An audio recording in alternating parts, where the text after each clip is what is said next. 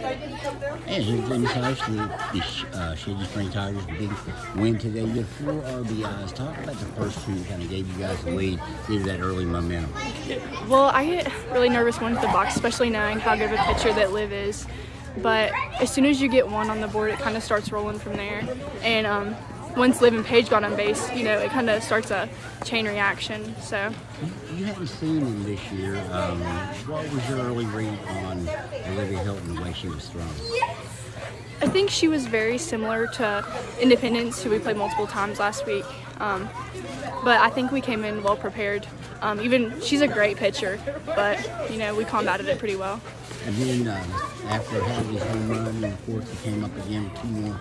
Uh, your next bat, you had two more um, RB opportunities and cashed both of those in. What uh, what did you see on that pitch and that at bat?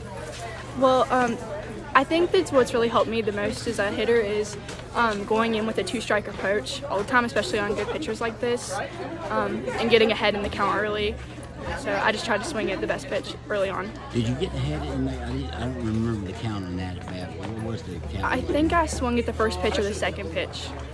Was the second pitch It was the first or the second. Both times I, um, both of the first uh, at bats were the first or second pitch is what I hit. Obviously, in a three-game series, every game is important. Uh, but to get it ahead like you did, uh, going back home to try to close it out, how important was this one especially? I mean, It 'cause was- you guys got a hit last week, and you know, Independence able to even it up.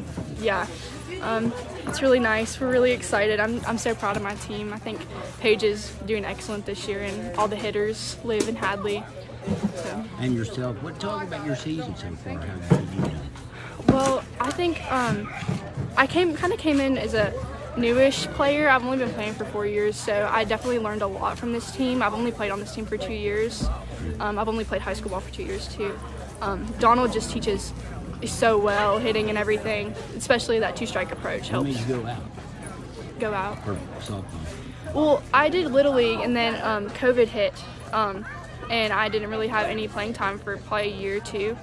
And um, I came in and tried out, and the, him and Miss Smith gave me a chance. They really took a bet on me. I really, I couldn't catch a fly ball or anything. I'm serious. Um, so I'm really thankful for them. They taught me a lot. I'm sure they're grateful for that today. Yeah. Hey, great job. Thank you. Thank you.